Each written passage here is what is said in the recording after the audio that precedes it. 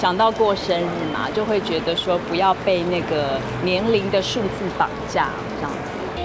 她的皮肤实在是太漂亮了，而且刚才我们在后台有稍微聊过，真的桂纶姐就是兰儿的大爱。因为之前我就会有时候工作，然后带妆回到家，然后她想要跟我亲亲，我就说妈妈还没有卸妆哦，脸上有化妆品，我说先不要亲亲，所以她可能就记得这件事情。但是有一次我在家就是没有化妆的状态，然后我就说要哎我们来亲亲啊什么，然后她说不行，你有化妆这样子，我说我没有。我今天生日还要工作，会觉得很好啊，就是已经很久没有呃生日当天还要工作，但是就是都是发生在以前，就是就是生日的时候就是会排很多的工作，但是已经很久没有生日的时候工作，所以这次我也觉得哎蛮特别的，就是有这样的一个机会，就是生日还可以出来跟大家见面这样子。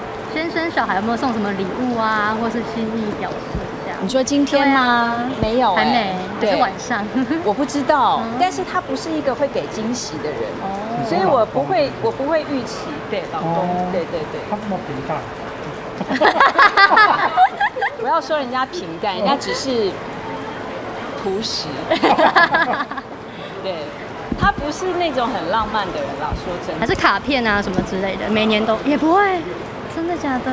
没有不会有卡片这种东西然后因为我自己本身也不喜欢什么花呀哦这些，所以就是不会有不会有花呀卡片这种事情发生在我们家。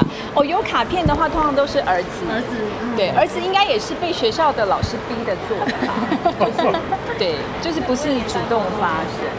其实我觉得我应该可以讲一下，就是我最近有比较有感悟的事情，就是我觉得。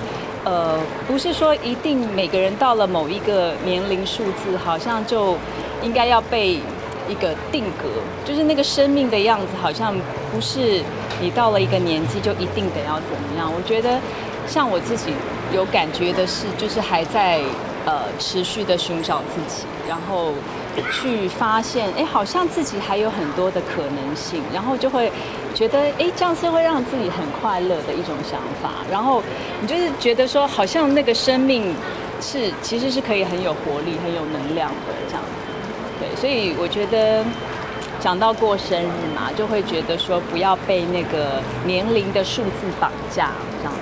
就是不管你在什么年纪，当然你要爱现在的自己，现在这个年纪的自己。但是我觉得你也要去相信自己还有很多的可能性，然后让你的生活是可以很精彩的。